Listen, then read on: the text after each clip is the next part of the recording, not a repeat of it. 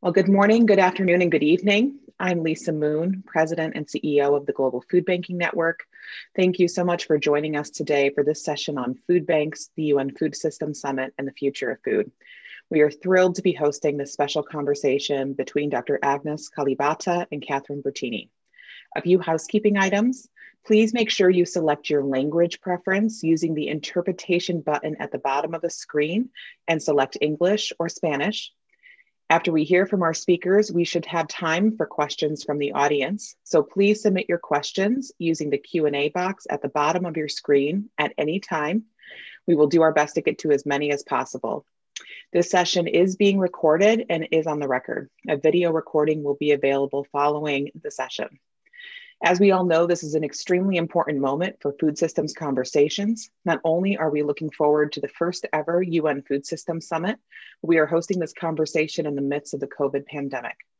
The Global Food Banking Network has been honored to serve food banks in over 40 countries as they have been on the front lines of providing humanitarian relief over the past year.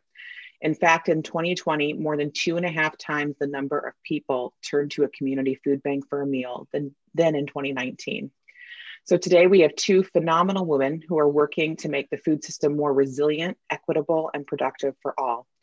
Dr. Agnes Kalibata serves as the UN's special envoy to the Food System Summit, where she is providing leadership, guidance, and strategic direction. She has also served also serves as a president for the Alliance for a Green Revolution in Africa since 2014. Catherine Bertini is Distinguished Fellow at the Chicago Council on Global Affairs. She was named the 2003 World Food Prize laureate for her transformational leadership at the World Food Program, which she led for 10 years. She is a champion of the 2021 United Nations Food System Summit, and she also serves on the Global Food Banking Network's board of directors. Thank you for joining today, and I'm going to turn the conversation over to Catherine.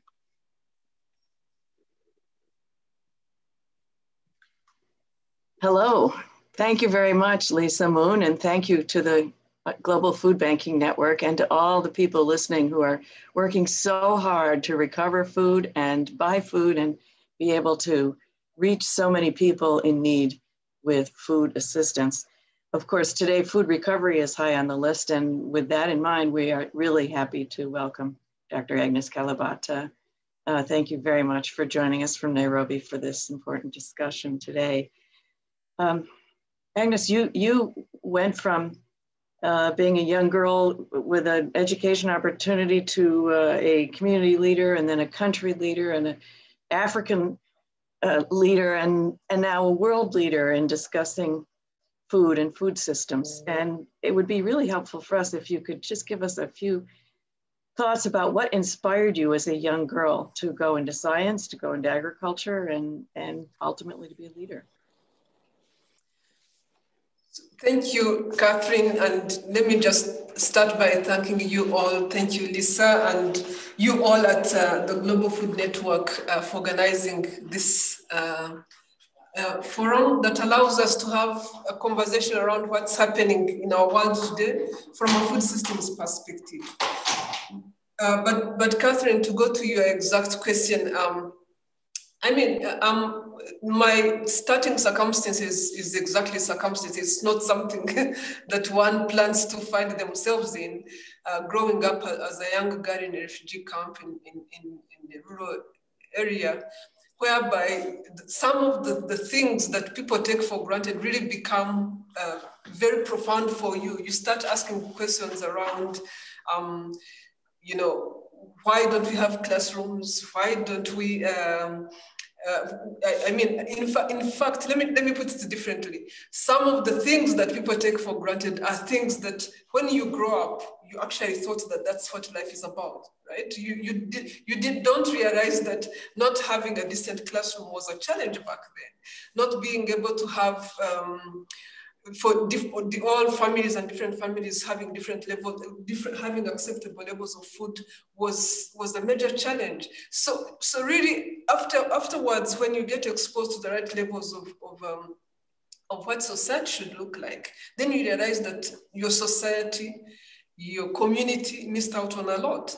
But then you also realize that the opportunities within us and among us that we, we can take advantage of and just make a difference in people's lives. So for me, it's a combination of knowing that these things are not always there in, in communities, especially rural communities, and knowing that they exist on the other hand as technologies, as improved seeds, as good fertilizers that can make changes in people's lives.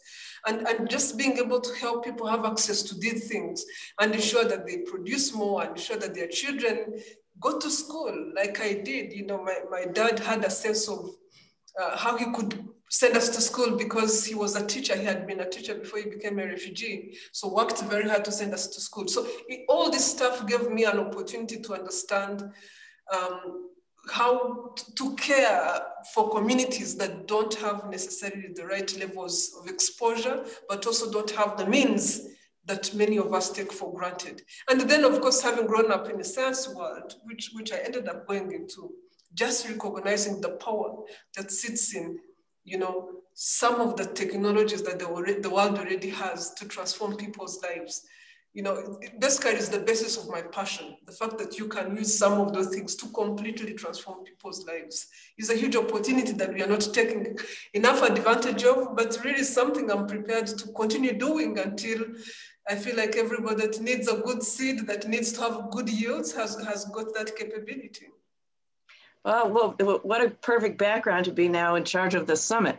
So uh, the summit where uh, it's everyone's hope that uh, there'll be new systems, new approaches, transformative ideas that can really be used throughout the world.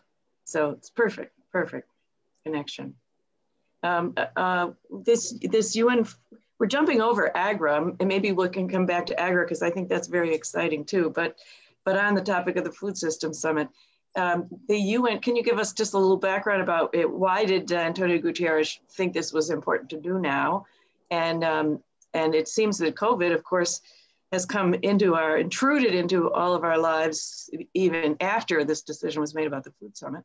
Um, but, but what do what do you think the un hopes to achieve? What do you hope to achieve at the summit? So one of the, the reasons that uh, the Secretary General thought it was important to launch the Food System Summit was one, one that we are behind on a number of things, right? We, we said would come through on SDGs as a way of coming through for humanity. Um, we are behind on hunger, we are behind on nutrition indicators. In fact, hunger has been increasing even before COVID and and we are behind on uh, there are a number of other things like like obesity and so many other things that are happening within our the midst of our food system that basically is not representative of where our food system should be going.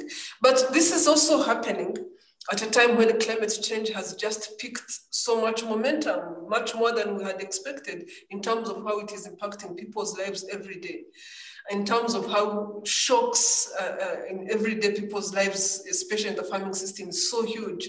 And, and that recognition, but also recognizing the food system itself is contributing further to the climate, climate um, change challenge, contributing to biodiversity loss at higher levels than, than we, had, we had ever thought uh, Uh, we should be doing. It, it's all the combination of all these things, realizing that the food system is at the center of so many of the SDGs, in, in fact, nearly all 17, and then recognizing that the food system is really part of what uh, some of the challenges that we have. And unless we fix some of these challenges, we'll probably go into a situation where it, it starts getting becoming very difficult to come through on some of the things we are start, starting trying to come through on. So for example, hunger. How do you come through on hunger today, irrespective of whatever investments you make? If that is going to be eroded and taken away by climate change. So, so some of these are really creating a spiral that, that will become extremely challenging in the future. And I guess he really saw an opportunity to say the time is now for us to start thinking about how we come through, right? It's not just coming through, it's also about how we, we need to come through on the SDGs, but we need to come through understanding fully well the impact we are having on our environment and how much environment can handle, can't handle. Right, right.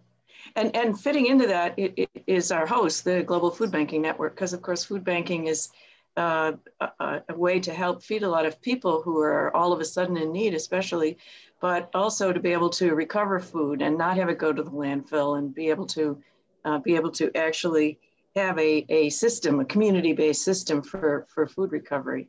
So uh, I'm, I know that food banking people listening and, and, and watching are hopeful that there's uh, there will be places to input those kind of ideas into the food system summit.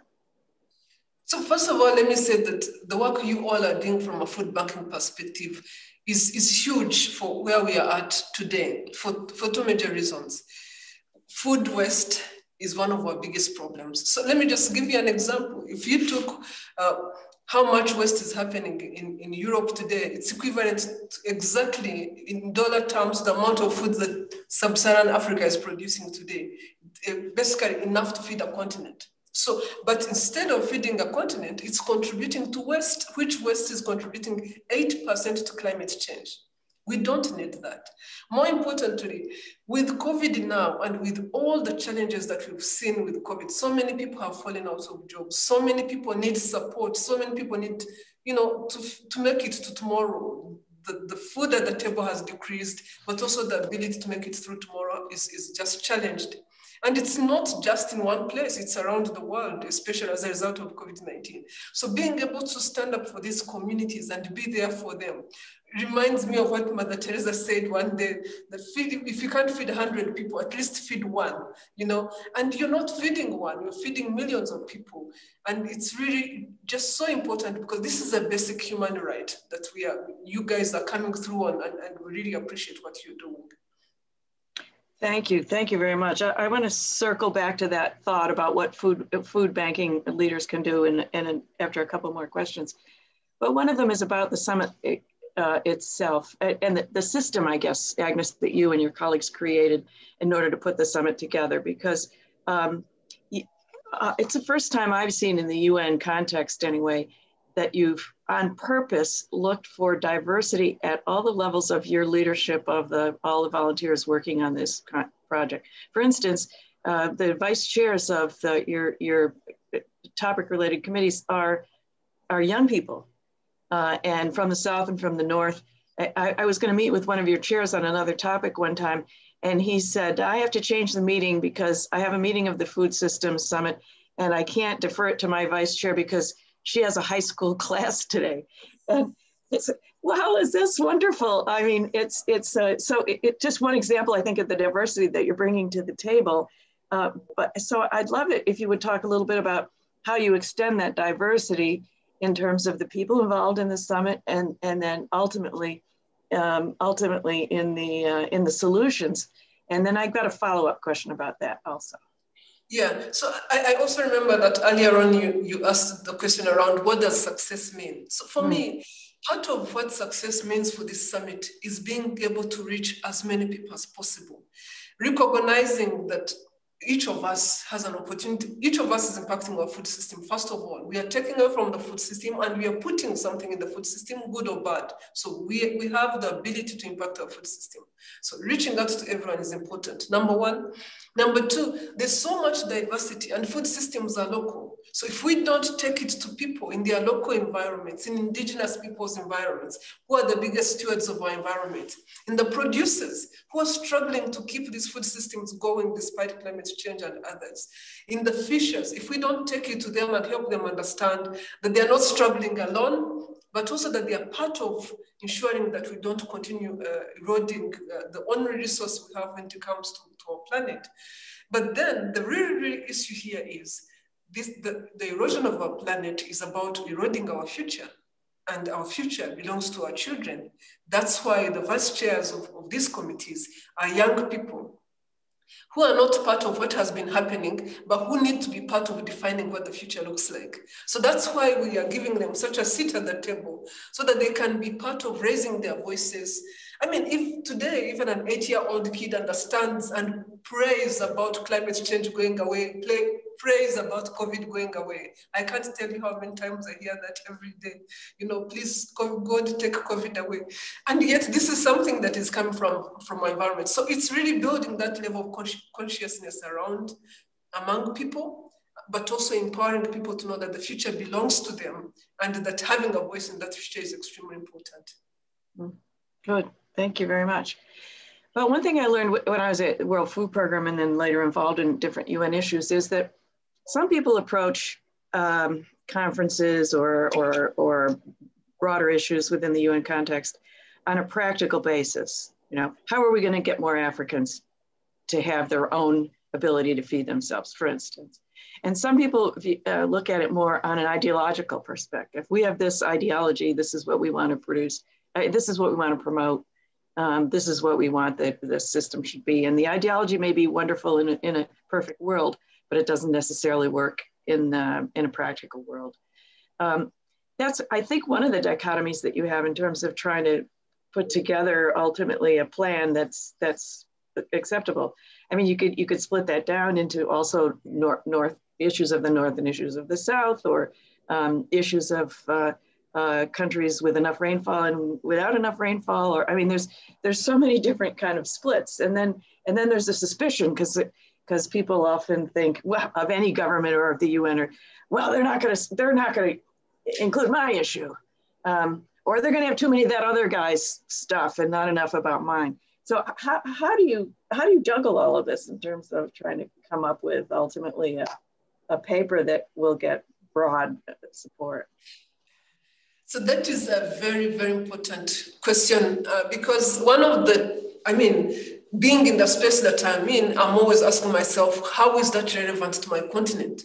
How is relevant that relevant to my community?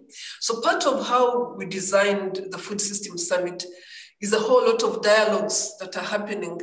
We have member state dialogues that recognize that South America is different from Africa, that recognize that Europe is different from Africa, and, and, and even within Africa, that country X is different from country Y even within that country, that community X is impacted differently than community Y. So recognizing those complexities of the food system is part of being able to find the right level of solutions to the problem. Now, in terms of the of communities and, and different people and where they are at, we've also organized what we are calling independent dialogues. So we have lots of indigenous people's dialogues that are going on to help us understand what they care about, but also what they are able to do and what they can't do, what they would like to see done. Same thing with uh, producers, same thing as fishers. So all these dialogues are going on to empower people to have a voice around the things that matter to them, not what we are saying from, I don't know, UN or from the center, whatever that center is, to help people say what they are seeing based on where, where they are at. Now, the way we are bringing it all together is uh, we, we, we have, we, I, one other thing I should add, we also have an expert group of scientists that is looking at all these things and trying to cross-check and trying to make sure that whatever we are, we are saying and doing is grounded in, in, in the realities of science and evidence of science. So that's a very important backup, um, irrespective of, of whatever we come up with, it's a very important backup. So what we're trying to do, so like recently we had a retreat just to bring all these groups together. And there's no one group that is right. Your action tracks, your scientific group, your whatever. What we really cared about was if we were to listen, let, us listen to the whole world. What's the one, two, three in that order things that people care about the most? That will help us shift, that people say that if we did this, would actually shift things.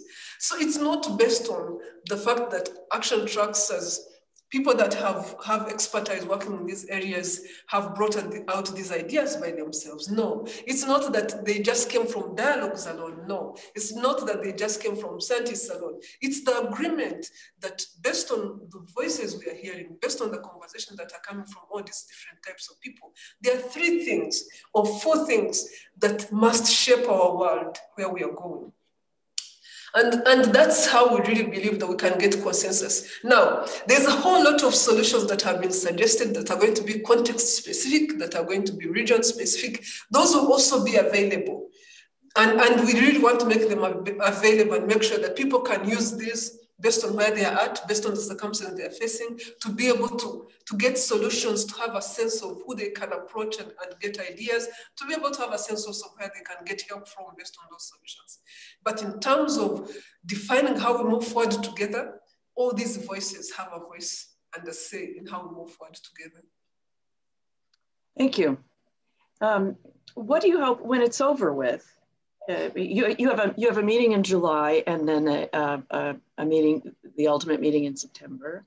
Um, after September, what, regardless of what the, the topics are or the issues are, what do you hope will happen next? Um, uh, past September, what, what, I expect to happen is that um, we will have clearly defined goals that if we implemented in the next 10 years, will put us back on track. Those goals to be able to be implemented will need the right level of policy frameworks at country level, if we are going to hit as and reach as many people as we can. So go governments have a responsibility to think through whether there's an environment that allows what, what is coming out to be implemented at country level to get us back on track. We have to think about the type of investments that are needed to be able to do this, whether they're coming from governments themselves, whether they're coming from private sector, whether they're coming from all of us. Those things have to be thought through. And then there are also things we have to think through around what we, we didn't know that we need to stop doing, but we actually now know we need to stop doing to ensure that our world goes continues going the, the right place. So for me, it's having those things in place and then having follow-up mechanisms, whether they are best uh, in, in, institutions that have been doing this, um, because there are a number of institutions that, that exist already that, that work on, on the food system, uh, and, and how they get strengthened uh, to be able to follow up. The follow-up between now and, and, and and 2030 could be based in those institutions or could be based in specific groups that decide that we are going to track what we said we will do and, and we'll be reporting back uh, to, to those institutions that are tracking.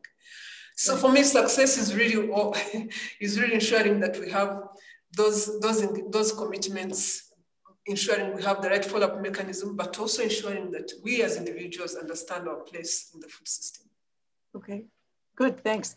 And, and specifically, uh, we as individuals, circling back now to the food banking um, uh, networks and, and the individual food banks in countries around the world, uh, if you have advice about how um, the organizations or individuals can be involved now or what they should be thinking and, and or what they should be thinking about post-September in terms of involvement uh, uh, in, to promote the ideas of food recovery and also to promote the ideas of, of innovative community-based ways of feeding people. That would be great if you had any thoughts. I, I think for me, the most important thing right now is to continue to link into the, the food system because there's so much information that is coming out in terms of solutions. And those solutions are put in buckets of reducing food waste, you know, advancing um, social protection, advancing, uh, you know, where, where I imagine uh, advancing things like school feeding, advancing communities, uh, I mean, feeding communities, especially uh, food banks, like you're saying. So there are a number of solutions. And going to the Food System Summit, there are going to be groups and people and communities that are looking to to get together around issues that they care about and countries that, that, that want to get together around issues they, they care about. So how, how we design coming through on those issues is going to be around how we align our, our working together, how we align the things we care about to, to SDGs and to coming through on some of these, these challenges. So food banks have a central role, you've defined it yourself, a central role in ensuring that we really uh, reduce food waste, continue reducing food waste, number one. Number two, and probably primarily that we use that food to feed people that uh, that uh, that uh, that need it. Number three, it could actually be part of just feeding the world because that food can be recycled, processed into things that um, that be become part of feeding the world. So it's it's really an honorable job that you all are doing. Thank you, and on, on everyone's behalf, thank you very much uh, for that vote of confidence in the work of food banking people around the world. Um, Agnes, just a couple days ago, I saw you interview the new uh, laureate, World Food Prize laureate, and one of the uh, things you and she talked about was we're being women in the science profession and uh, and women in, in agriculture. And so I, I, would be remiss if I didn't note that 70% of the food banks uh, in our network are run by women. Uh, and um, uh, we have, all of us, I think, uh, around the world, an important responsibility to be sure that uh, we've gone out of our way using school feeding, it, it, you mentioned school feeding, or other um, other programs to be sure that girls have a chance to be educated because there's so much that they have and can offer um, in the food system, not just running food banks and being scientists, but even keeping their families together and ensuring that everyone has a chance to, to have good nutrition. I mean, if you think about those families for whom you're reducing the burden of thinking about food so that kids can feed and be able to, to do their homeworks right, it's huge. The contribution there is huge. So I really think that there's an opportunity there to, co- to continue ensuring that, you know, maybe what, I should also mention this, the, the famine, the report that just came out on conflict and famine. I mean, it just puts so much pressure on, on, on food banks and, and the ability of you all to, to reach out and, and keep some of those communities going while waiting for their lives to return to normalcy. So there's a huge responsibility there. And again, I, I wish you well and we'll continue to work together on this. Thank you. Thanks. Thank you so very much. Um, well, that is, I think, part of the good news of this summit, uh, different perhaps than some others, is that your outreach has really been remarkable to try to to try to bring in um, as many people as possible. Well, actually, you're not actually necessarily bringing people in. You're get, you're offering the platform for people to come in and uh, and that's uh, part of the reason why you're here. Thank you for joining us, but also why the whole system has been doing so much outreach, which is um, hopefully a new model for uh, for UN summits in the in the future. Um, I think it's almost time to go to, to questions from the audience, but do you have anything else you'd like to add uh, before we do? No, I, I, mean, I just want to thank you. Thank you for what you're doing and um, encourage you to, uh, the, the, the, team behind all this work, the, the, the, the, group, the leadership behind, behind all this work, the food, food banks, really to double down and, and help people overcome what COVID has put us in, overcome people help people overcome some of the challenges that are associated with famine that we are seeing now. As you know, recently I was just looking, prices are continuing, food prices are continuing to improve. And that makes it impossible for some of these families to access food. So what you're doing to ensure that even as COVID continues moving from one village to another, one country to another, that families that are falling out of the ability to have food can access food is extremely important. And I just wanted to encourage you to help us survive this as we try to rebuild our, our, our food system, as we try to rebuild our countries. So thank you so much for having me. Wonderful, thank you. Thank you very much. Um, one of the first questions is about funding and how, um, how do we convince funders to support things they haven't funded before, one being how, tackling food waste. The, the questioner says, um, um, how can we use the summit for people to wake up to the importance and the value of improving the system through, through um, for instance, um, uh, dealing with food waste. Uh, they point out that a few years ago this happened with plastics, that, that, that there was a new interest in, in um, dealing with the, the issue of plastics polluting the environment. But um, how do we get there? And, I, and I'll add to that that I remember reading not too long ago that most of the agriculture research in the world goes into production uh, of agriculture, but not necessarily post-agriculture, post-production, um, and that includes uh, that includes uh, food waste. So, so any any ideas about that? First of all, let me say that um, of the things I've seen um, significant uh, appetite uh, for in, as one of the solutions in the food system uh, reducing food waste is something that people I, seem to be interested in, uh, especially private sector. So, so I, am I'm, I'm, I'm sure it's one area that will continue to be important, and I'm sure it's it's it's an area that uh, that uh, a lot of that indicators are going to be built for that can help people come through uh, in in terms of um, reducing food waste. In terms of overall mobilizing uh, people to be able to engage around some of the things in the food system summit that seem like they are new, I guess the issue has to be about the, the cost of doing nothing. Cost of, and because the cost is no longer just that doing nothing is okay, the cost is the, the, the impact of not being able to do the right thing.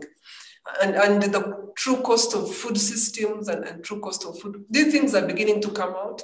And I think once people look at numbers, that are coming out, um, we, we will then start to understand the, the responsibilities that we have around trying to make sure that we do something. So, so I think it's also being able to have visibility of what action looks like and what that action will buy us. So, so uh, I'm not worried that people will, will, will, will see the opportunity to do something around uh, the, the, fact that not doing nothing is an option. Hmm. Yeah, um, thank you. Um, still on the food waste uh, uh, issue, um, you mentioned a lot of different players. Hopefully, will be involved post post September, post report, uh, including governments, of course. And um, some governments will be uh, will be um, kind of laissez-faire about this and say this is nice and people can do whatever they want. And other governments obviously will be uh, more prescriptive and perhaps consider new laws.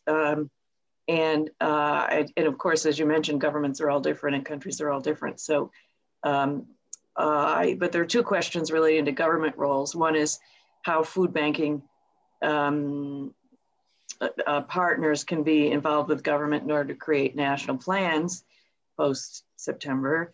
And the other was uh, whether or not governments should be more proactive about food waste and about mandates about food waste.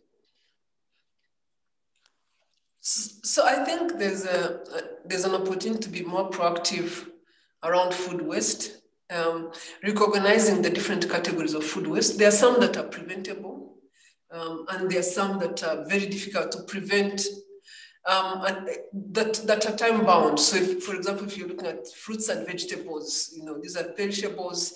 All these um, it's it's I, I, guess it's two ways. There's also um, a consumer perspective that needs to come in here. The kind of standards that we set around food and whether that is actually acceptable anymore. Right? A lot of food that you take in food banks is food that is perfectly okay to eat. We're not talking about food food in food banks as food that is not fit for human consumption. It's perfectly okay to eat. It's just not being used at the right time. Right. So there's reducing that expectation on we need to do that. We need to do that because it costs so much water. It costs so much in terms of all the things we are doing to produce this type of food. And then we put so much demand on it and a lot of it has to stay where, where it is produced. So there's an opportunity for governments to work together to create frameworks uh, alongside consumers and retailers to build a new system that reduces the amount of food in our environment. So I just think that, that that's something we can do. I mean, imagine uh, uh even a size of a fruit can lead to that fruit being rejected. Not a blemish size can lead to that fruit being rejected. Is that the, is that right? You know, and how do we manage that? So, but besides that, I mean, we can also recycle food for the benefit of our environment, right? We can also do regenerative agriculture is really all about ensuring that that the nutrients we extract we get to put back as well. So, so there are ways we can start working with governments to put in place policies and, and policy frameworks that encourage um, more, more, you know, more return, more recycling of, of nutrients, but also reduce nutrient waste by reducing uh, the pressure we are putting on our food system. Yeah. Um, good, good point. And and uh, I don't think really a question, but a comment from someone who said when we when we think about food recovery, we have to pay also attention. When we think about food recovery, we have to also pay attention to food safety. Of course, we do. I'll, I'll tell you, say a little uh, uh, story from my WFP times. Uh, one government was pushing us very, very hard to take um, frozen beef to send to North Korea. And um, we said, well, this is a bad idea for a bunch of reasons. One of which was there wasn't enough refrigeration to take care of frozen beef in North Korea. But the second was that we had our own rules that said we would only accept food that was acceptable in the country of origin. So, you know, if it's okay for you to eat in your country, then it, then okay, then we, it's, it's okay for somebody else to eat, but don't please give us your food. In this case, mad cow, uh, uh, uh, slaughtered cows to give to another country. So um, I think there's a, there's a important issue on food safety, although that's a big broader, bit broader perhaps than the questioner. Agnes, I said at the beginning I wanted to come back to AGRA. Unfortunately, we have a question about AGRA. So, um, so uh, it, uh, very specifically, it says, "Tell us about AGRA, your day job." Uh, but before before uh, I asked you that, um, um, I know that AGRA uh, has a very distinguished uh, beginning, having been first chaired and, and organized by Kofi Annan. And, um, and then the first CEO there was Namanga Ngongi. Um, you follow in, in um, um, big footsteps, of which you are, you are just as big in terms of your leadership and what you're doing with AGRA. But maybe just a, a few uh, minutes for the audience to know what AGRA is and all of this. Well, some of the wonderful uh, initiatives and successes that you've had at AGRA. No, thank you for asking that. Um, and I know you were there at the beginning, so I'm really grateful that uh, the RBAs were part of supporting uh, Kofi Annan, help neutralize, you know, crystallize the vision of an institution like AGRA on the African continent. So AGRA was founded to fill, basically to fill a gap on the African continent. And the gap was more around the, the ability for African farmers to access technologies and the ability for African institutions to create um, systems, and ecosystem that delivers those technologies to farmers. And when I'm talking about technologies here, I'm talking about simple things like improved seed, right? Having access to the right variety of seed in the right environment that allows you to double your yields. You know, in, in places in Africa where yields are doubling, excesses are happening. So simple things as doubling yields become extremely critical in those landscapes. We are not talking about five times as much, we are not talking about six times as much as you, or 10 times as much as you see in the US, but just the ability to double your yields so that you have enough food to eat and you have enough uh, to sell to the market and be able to send your kid to school. So even simple things like that were absent in many places in Africa. So Kofi Annan and uh, partners he reached out to, it was really to just ensure that AGRA can help build an ecosystem that allows what's happening in the CGIAR, a great organization that is producing some of the best um, materials to improve yields, to ensure that that translates in Africa and happen and actually gets into farmers' hands. So what AGRA does really is just to support national systems to ensure that national researchers can get a variety of cowpea um, that yields twice as much as now yields in Burkina Faso and help Burkina Faso to create a system that allows a farmer to access that variety. The journey from the CGIAR to the farmer is so long and so difficult. Even I, as a Minister of Agriculture in Rwanda, left before I built the right seed system for the country. But luckily at AGRA, I've been able to do it because when I came to AGRA, I came to understand what I was doing wrong in Rwanda. So AGRA has a number of scientists that are helping this countries countries to put these systems in place to ensure that farmers can access the right materials to improve their yields. So the other thing then we are doing is to support governments with all these capacity gaps and recognizing that institutions and capacity and skills is what you need to build an ecosystem that can deliver for farmers we, we use that knowledge now to help governments from one government to another to, to see what is broken and what can we help you with so that you put that ecosystem in place so that African farmers too can improve, can access good yields, can access good information around how to manage their soils and can be able to access markets. So we really work on a day-to-day -day basis on working through those challenges so that the ecosystem can, can work for the, for the African smallholder farmer, SMEs can function, and, and governments continue reforming policies so that, uh, so that they can deliver for the farmers. It's a job that I enjoy, having come from Rwanda, where we're able to, to, to do a lot of that. So I enjoy really being able to understand from one country to another what, what is what's not happening right and how can we support them from what we are now calling transferable assets. That's, and that's the beauty of AGRA. What you learn from one country, you can quickly take to another country without necessarily inventing the wheel. Yeah. Yeah, well, and Rwanda has been a leader uh, and uh, uh, in this in many areas. So uh, uh, it's interesting that you've even learned something from AGRA because I'm sure you've taught them a lot too. Uh, one of the things I loved about AGRA is that it's one of the, at least then when, I, when it began, one of the few organizations that was able to connect the private sector, the public sector, the, the academic institutions, the UN, the NGOs, in a, and, and put them all together in order to make really good programming that could help uh, smallholder farmers in Africa. And um, I think we need more organizations that aren't married only to governments or only to uh, uh, donors, or um, but that, but they can juggle uh, really all the different components of trying to build capacity. So congratulations. No, thank you. I, I think that's how I ended up in the Food System Summit. I just feel like my, my day job has become juggling pieces, putting in the right people in the right country at the right time, and just asking, so what do what else do you need so that you get moving? What else do you need so that you, you do the, the next thing? And I enjoy it because they're the things that people don't really invest in. They're the things that people assume are happening, but actually are the things that are holding us back. Yeah, great, great. Thanks. A couple more quick questions if we, we can get them in. One of them is uh, uh, about uh, uh artificial barriers between countries. This comes from somebody from Ghana. Uh, artificial trade barriers between countries. How can we convince policymakers to create more space that allows for successful movement of agriculture and food products across borders, especially in Africa? So, so that's a, an interesting question and, and, a very timely one. We are at a time when we have just launched the, free, the African Free Continental Trade Area that whose success in agriculture is going to depend on what you said earlier, Catherine, on food safety, right?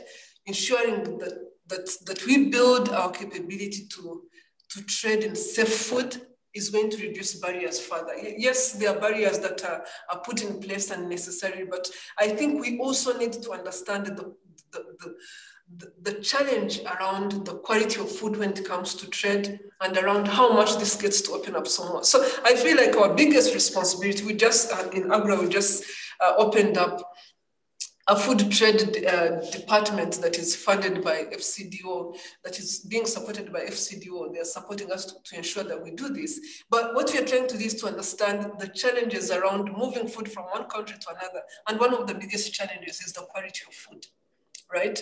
And the ability to, to, to have harmonized standards around quality of food so that trade can flow. The, the, the good news is a lot of countries are working on this the, the, the, regional communities and countries themselves are putting a lot of energy in this, and hopefully um, this will start happening. But I must say, definitely, food is one of the most difficult areas to trade in because it's easily damaged and impacts people's lives. So we need to understand that we need to overcome these, these barriers. Right. Thank you very much. Um, there's uh, there is a uh, question about gender, which uh, uh, we're, we're going to run out of time before either of us can adequately answer, but I, I'm going to say to the questioner that with Agnes is the chair of this conference and with many, uh, many, many women as uh, in leadership roles in her committees and as champions and elsewhere, gender, gender will not be forgotten. I can guarantee that at this conference. And it'll be more than implicit, I'm sure. Um, Agnes, any final words you'd like to add before we close?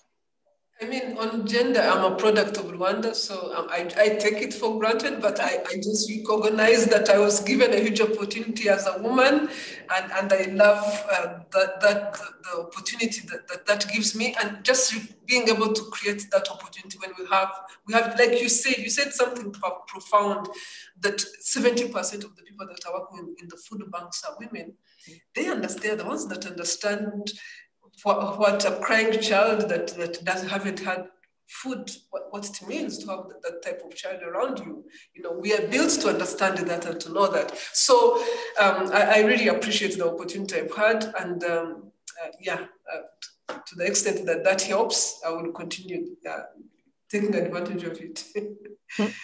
Well, and, and then in terms of, of last words for the Food System Summit, thank you for putting this together, for, for making the connection between uh, well-being and the need for food, but also what COVID-19 is doing for us with the food systems, and of course then how we can use the opportunity to reduce waste to, to, to feed people. So there's a solution here that you're not, you need to package it as one of the solutions that are coming to the Food System Summit, how to move food from one part to another and really do very, do good in the, in, in the process. So thank you for doing this and, and really thank you for having given me the platform to engage uh, with your community on the Food System Summit and to bring them in into the Food System Summit. Like you said, it's a platform, welcome, engage, understand, and give ideas.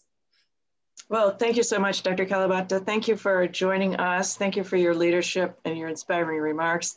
Um, uh, I know I, I say this on behalf of Lisa Moon, the, uh, CEO of A global Food Banking Network, all the staff, and certainly all of the network all around the world and those who are joining us who, who aren't part of that network. We appreciate it very much. And we, we applaud the approach of the summit to uh, get things back on track, uh, as you said, and to, um, or on track if some things never were, so that we can have community, um, regional and national and, and global solutions. Um, we appreciate the chance to have this discussion today and that you've been able to share your voice with us. Um, just for all, this is a been recorded, as Lisa said, and it's certainly shareable. Uh, we thank you again, um, Dr. Kalibata, thank you, Lisa Moon, and thank you all for joining us today. Thank you and goodbye.